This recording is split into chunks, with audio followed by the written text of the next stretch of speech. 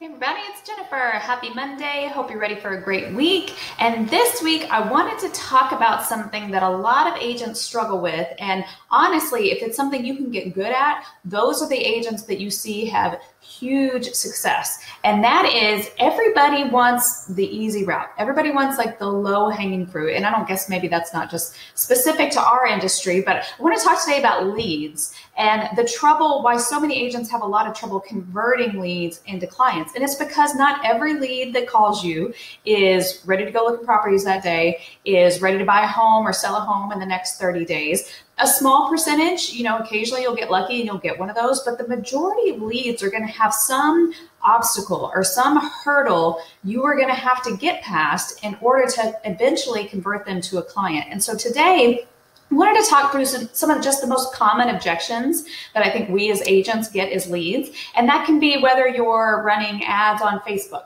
or social media, um, you know, through your CRM, you're getting leads that way. These could be leads from an open house. These can be leads from property time. You know, these are people that are coming in, you don't necessarily have a relationship with them. They're probably talking to, you know, 15 different agents. And how are you going to be the one that's going to convert them into a client? And the first one is when leads just want the property information. If you get a call, you know, maybe your listing or another listing while you're working property time, and they just want the information about the house and that's it. And I feel like I can teach this one because I remember when I was a new agent, I was terrible about, you know, people call and ask about a house. I'd say, oh, it's four bedrooms and it's this price. And they'd be like, okay, thanks. And I'd be like, have a great day. You know, it took me a while to learn that the whole reason, the whole point of me being there is to try to convert those people into a client. So when you get somebody who only wants property information, you have to start asking questions. So, you know, you tell them the price. Is that in the price range that you're looking for? Or would you like for me to send you some other things that are available in this neighborhood? How soon are you looking to move? Do you, how many bedrooms do you need? This one has a pool. Do you need a home with a pool? Or would you be open to homes that don't have pools? When you start asking questions and probing, then you can get them talking. And once you've got them talking about what they're looking for, then you can let them know, well, hey, I can send you something that fits that criteria, or I can set you up so you get a notification the minute something hits the market, or I can search things that are coming soon to see if there's a property coming up that hasn't hit the market yet. What's a good email and phone number, you know, for me to reach back out to you at? Start talk, asking questions instead of just giving information, and you can start to get somewhere with those leads who just want the information and act like they want to get right off the phone. The second one, I wrote them down here, so don't forget. Oh, when the home is already under contract this happens a lot where we get inquiries and the home they're interested in has already gone pending.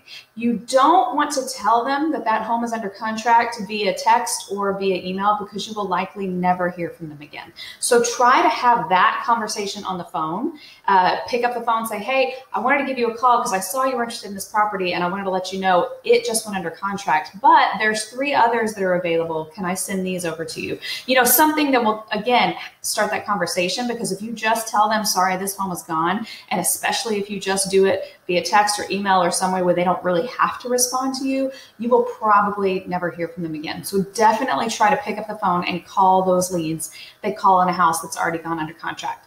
Um, sometimes you get ones that aren't ready to talk to an agent yet.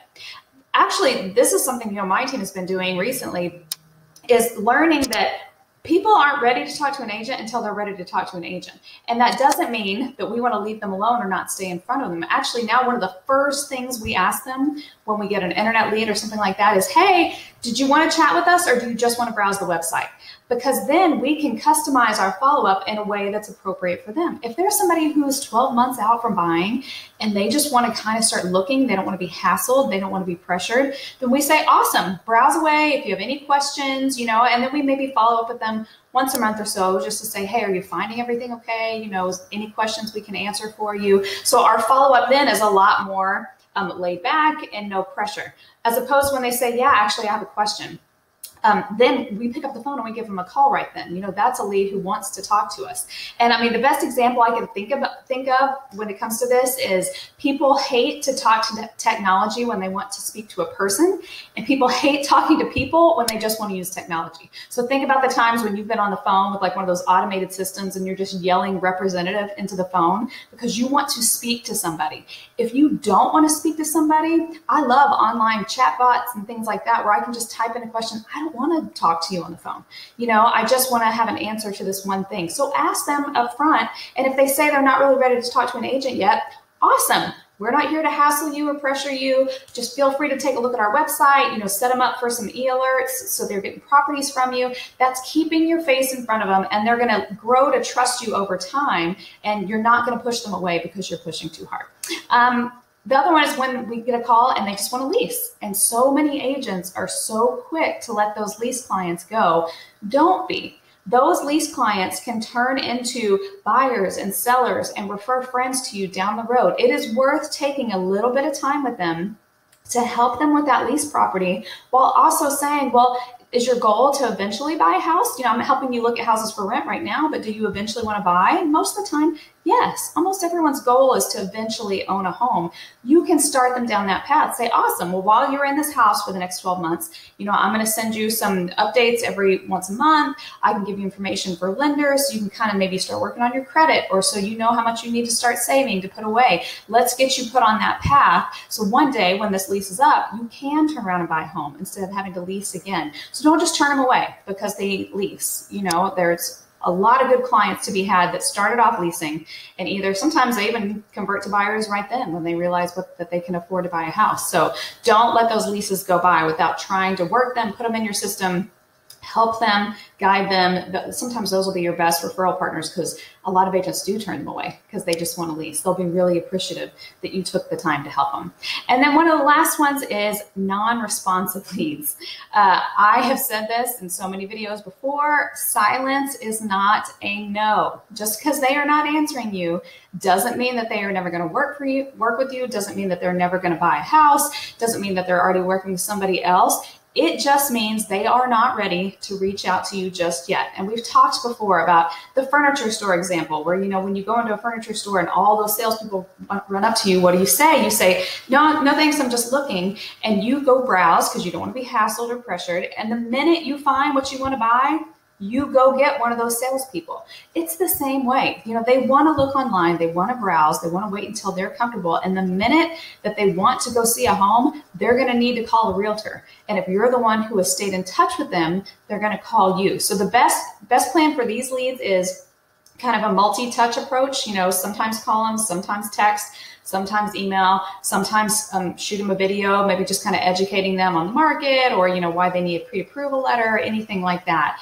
And set it up. These are where you really want to use those automated drip campaigns. You know, this is where your CRM really comes into play. I could give you multiple examples of us just in the last month where people have replied back um, that I hadn't heard from in you know six months to a year and they're replying back to an automated email or text that went out to them that i didn't even do that they just replied back to. And then we were able to you know start that conversation again and be able to convert them into clients. So don't just let them go just because you're not hearing anything. Until they tell you stop calling me don't stop calling them you know? Email text, set up a nice campaign for yourself where they're getting something from you, you know, every few weeks, change it up, sometimes a text, sometimes an email, sometimes a phone call, uh, and just keep doing that. Eventually, when they are ready to buy, they will give you a call. And then the last one, I like to call it lead fatigue. You know, sometimes you're just making calls every week, you know, and you're reaching out to people and you just don't feel like you're getting anywhere. And, you know, it can get, you know, it can burn you out a little bit. Just know that if you stick with it, and you keep following up with these leads you keep asking questions you keep trying to customize how you how you stay in touch with them after that initial reaction it will start to pay off. And you might go sometimes weeks and weeks where you just don't get anybody and then all of a sudden leads that you've been working for the last six to 12 months will start your phone will start ringing because they're ready their time is right. You can't change their timing so they're going to reach out to you.